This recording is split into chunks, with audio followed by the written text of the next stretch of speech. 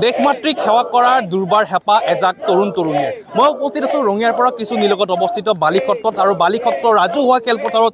এই ধৰণে সকলো ব্যস্ত হৈ পৰিছে অনুশীলন কৰাত। আৰু আমি উল্লেখ কৰিছোঁ যিহেতু কেন্দ্ৰীয় চৰকাৰ ৰাজ্য চৰকাৰৰ অৰ্ধসামৰিক বাহিনী আৰু অসম চৰকাৰৰ আৰক্ষীত যিহেতু সহস্ৰাধিক আচলতে পদত পদৰ ইতিমধ্যে আবেদন প্ৰক্ৰিয়া সমাপন হৈছে আৰু হয়তো কিছু মাহ পিছত তেখেতসকলে এই লিখিত পৰীক্ষা নহয়তো বা শাৰীৰিক পৰীক্ষা তেখেতসকলে অৱতীৰ্ণ হ'ব। এই মুহূৰ্তত আমি ইয়াৰ পৰিৱেশ দেখুৱাইছোঁ। প্ৰায় শতাধিক ইয়াক যুৱক যুৱতীসকলে ইয়াতে ব্যস্ত হৈ পৰিছে কঠোৰতকৈ কঠোৰ অনুশীলন কৰিছে। ৰাজ্যিক বিজেপিৰ সভাপতি ভৱেশ কলিতাৰ উদ্যোগত এই ধৰণৰ এক পৰীক্ষণ পৰীক্ষণ কাৰ্যসূচী ইয়াত ইয়াত লোৱা হৈছে। যথেষ্ট সংখ্যক এক যুৱক যুৱতী ইয়াত ভাগ লৈছে। আমি এই মুহূৰ্তত দৃশ্য দেখুৱাইছোঁ।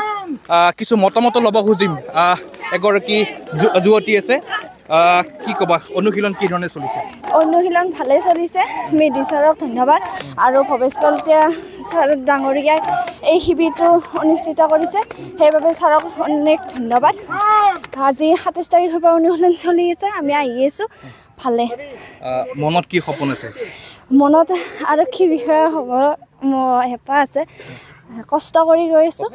ৰাতিপুৱা গধূলি সদায় অনুশীলন। ইয়াত আবেলি হয় তিনিদিন আৰু ৰাতিপুৱা মৰ্ণিং হয় তিনিদিন। ঘৰৰ মানুহে কি কৈছে? ঘৰৰ মানুহে আশা কৰিছে। চাকৰিটো পোৱাৰ কাৰণে আৰু কষ্ট নিজৰ কৰি আছোঁ। আমি দৃশ্য দেখুৱাইছোঁ কঠোৰতকৈ কঠোৰ অনুশীলন ইয়াত কৰি থকা হৈছে। আমি বিষয়ববীয়াও আছে এগৰাকী অভিজ্ঞ পৰীক্ষকো আছে। অভিজ্ঞ পৰীক্ষকৰ পৰা আমি মতামত ল'ব চেষ্টা কৰিম। অসম আৰক্ষীৰ এগৰাকী অভিজ্ঞ পৰীক্ষক আছে। কেনেকুৱা দেখিছে তেখেতসকল? অনুশীলন বা তেখেতৰ মনোবল কেনেকুৱা?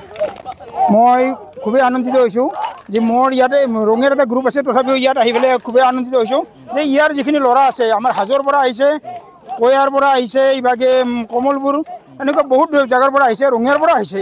ল'ৰাখিনি খুবেই উৎসাহিত। গতিকে খুবেই মই আশা কৰোঁ যে ইয়াৰ পৰা কমেও আমাৰ পঞ্চাছজনমান চাকৰি যাব বুলি মই খুবেই আশা কৰোঁ। মনোবল কেনেকুৱা দেখিছে? বা তেখেতসকলৰ শৰীৰ চৰ্চা যিখন আপোনালোকে অভিজ্ঞ পৰীক্ষকৰ দি- আছে ইচ্ছাটো কেনেকুৱা তেখেতসকলৰ বা? আমি যিমানটো দিব চেষ্টা কৰিছোঁ আৰু সিহঁতে লৈ আছে। আৰু খুবেই উৎসাহী। কেইজনমান দেখিছোঁ খুবেই উৎসাহী। কেইজনমান অলপ দুৰ্বল আছে। দুৰ্বল থাকিবই। তাৰমানে কিছুমান কমজোৰ থাকে আৰু কিছুমান নাথাকে। তথাপিও চবে কৰিবলৈ চেষ্টা কৰি আছে। আৰু দেখিছোঁ যে কৰিব পাৰি আছে। এজন যুৱক আছে মই মতামত ল'ম। সপোন কি? সপোন এইবাৰ হম পাম ছাৰ এইবাৰ। বহুত ছাৰে আমাক বহুত ভালদৰে শিকাই আছে। আমিও বহুত হেঁপাহেৰে শিকি আছোঁ। ৰ'দ বহুত ৰ'দ বতাহ বৰষুণ একো মানা নাই। আমি চব নেওচি আহিছোঁ। ছাৰৰ ওচৰত ছাৰে আমাক ভাল প্ৰশমন শিকাই আছে।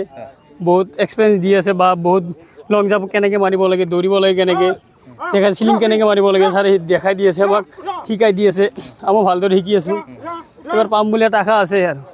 কষ্ট কৰি থকা হৈছে। এইদৰে কঠোৰ অনুশীলনত ব্যস্ত হৈছে। মই যিয়ে ভৱেশ কলিতাৰ উদ্যোগত যিহেতু ইয়াত অনুষ্ঠিত কৰিছে মই তেখেতৰ এগৰাকী বিষয়ববী আছে বিজেপি তেখেতৰ পৰা মতামত ল'ব চেষ্টা কৰিম। কৰাৰ ক্ষেত্ৰত আমি ভাৰতীয় জনতা পাৰ্টীৰ সন্মানীয় ৰাজ্যিক সভাপতি ভৱেশ কলিতাৰ নেতৃত্বত ইয়াত প্ৰশিক্ষণ দিয়াৰ ব্যৱস্থা কৰিছোঁ। ইতিমধ্যে প্ৰায় আঢ়ৈশকৈ ল'ৰা ছোৱালী আজি প্ৰশিক্ষণত অংশগ্ৰহণ কৰিছে। প্ৰতিকূল বতৰ প্ৰতিকূল বতৰকো নেওচি ইয়াত যুৱক যুৱতীসকলে অংশগ্ৰহণ কৰিছে। আশা ৰাখিছোঁ এই অনুশীলনৰ জৰিয়তে এই প্ৰশিক্ষণৰ জৰিয়তে অসম মাতৃৰ হৈ ভাৰত তথা দেশ মাতৃৰ হৈ সেৱা কৰিবলৈ আমাৰ যুৱক যুৱতীসকলে সক্ষম হ'ব। যি বাছনি প্ৰক্ৰিয়া হয় এই বাছনি প্ৰক্ৰিয়াত ইয়াৰ যুৱক যুৱতীসকলে নিশ্চয় সফল হ'ব বুলি আশা ৰাখিছোঁ। আৰু অসম পুলিচ আৰু ভাৰতীয় সামৰিক বাহিনীৰ বিভিন্ন এক্সপাৰ্টৰ ইয়াত ইয়াত প্ৰশিক্ষণ দিয়াৰ ব্যৱস্থা গ্ৰহণ কৰা হৈছে আৰু এই গোটেই প্ৰক্ৰিয়াটোৰ সন্মানীয় ভৱেশ কলিতা ডাঙৰীয়ে যি ধৰণৰ নেতৃত্ব লৈছে নেতৃত্বক সমগ্ৰ অসমবাসী ৰাইজে শলাগ লৈছে। যোৱা বছৰতে A P S C A P S C আৰু এছ এছ চিৰ বিভিন্ন নিযুক্তি প্ৰশিক্ষণ দিয়াৰ ব্যৱস্থা কৰিছে। গতিকে এনেকুৱা এটা পদক্ষেপ লোৱাৰ বাবে আমি বিশেষকৈ বালিসত্ৰবাসী ৰাইজে তেখেতক ধন্যবাদ জ্ঞাপন কৰিছোঁ।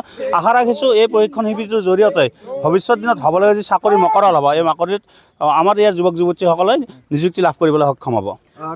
তেখেতসকলে আশা কৰিছে যে এই যি কঠোৰ অনুশীলন এই অনুশীলনৰ জৰিয়তে যি হ'বলগীয়া যি শাৰীৰিক তেখেতসকলৰ পৰীক্ষাই পৰীক্ষা তেখেতসকল অৱতীৰ্ণ হ'ব আৰু কঠোৰতকৈ কঠোৰ অনুশীলন এই মুহূৰ্তত কৰি থকা হৈছে। প্ৰতি পুৱা প্ৰতি সন্ধিয়া আবেলি তেখেতসকলে নিতৌ এই ধৰণে কঠোৰ অনুশীলনত ব্যস্ত হৈছে। এটাই মাত্ৰ তেখেতসকলৰ উদ্দেশ্য দেশ মাতৃক সেৱা কৰাৰ। এই ধৰণৰ পৰিৱেশ দেখিবলৈ পোৱা গৈছে। ৰঙিয়াৰ বালিসত্ৰৰ ৰাজহুৱা এই খেলপথাৰত আৰু আমি পুনৰবাৰ উল্লেখ কৰিছোঁ ৰাজ্যিক বিজেপিৰ সভাপতি তথা ৰঙিয়া সমষ্টিৰ বিধায়ক ভৱেশ কলিতাৰ উদ্যোগত এই ধৰণৰ এই শিবিৰ ইয়াত আচলতে পৰীক্ষণ শিবিৰৰ আয়োজন কৰিছে আৰু য'ত এই ধৰণৰ শতাধিক যুৱক যুৱতী অংশগ্ৰহণ কৰি থকা পৰিলক্ষিত হৈছে।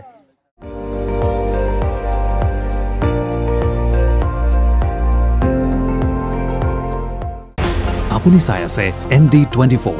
সৰ্বশ্ৰেষ্ঠ নহয় সৰ্বোত্তমৰ দৌৰ